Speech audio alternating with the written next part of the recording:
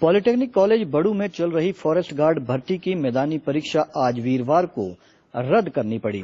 ऐसे में युवाओं को बिना फिटनेस टेस्ट दिए ही घर वापस लौटना पड़ा। संबंधित युवाओं की भर्ती अब 13 अक्टूबर को आयोजित की जाएगी।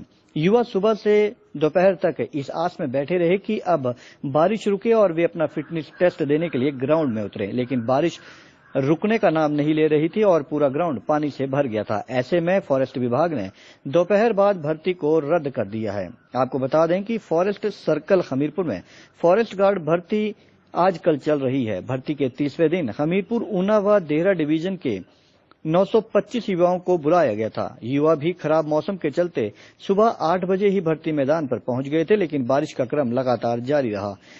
दोपहर बाद ग्राउंड के बाहर लोगों की जो भीड़ जुटी थी, वो थमने का नाम नहीं ले रही थी, लेकिन ग्राउंड में पानी जमा होने के चलते विभाग ने आज की भर्ती को रद्द कर दिया।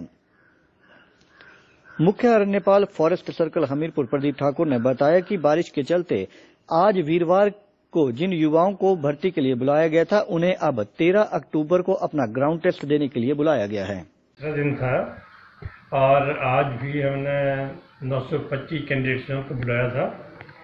बच्चे ग्राउंड में पहुँच गए थे, लेकिन बारिश जो है, आज सुबह से ही शुरू हो गई थी।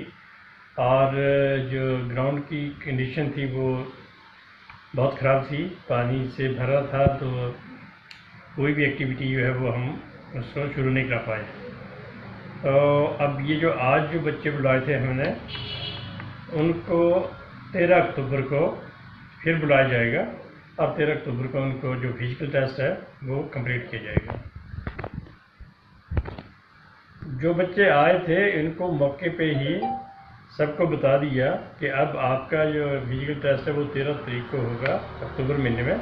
और ये सूचना जो है, हम न्यूज़पेपर में भी दे रहे हैं और प्रेस नोट के ज़रिए भी डिफरेंट पेपर्स में और जो विजुअल मीडिया है, उसके थ्रू भी ये इन्फॉर्मेशन जो है प्रार्थियों तक पहुंचेगी। मौसम ऐसा ही रहा तो ये भी पोस्टपोन करना पड़ेगा।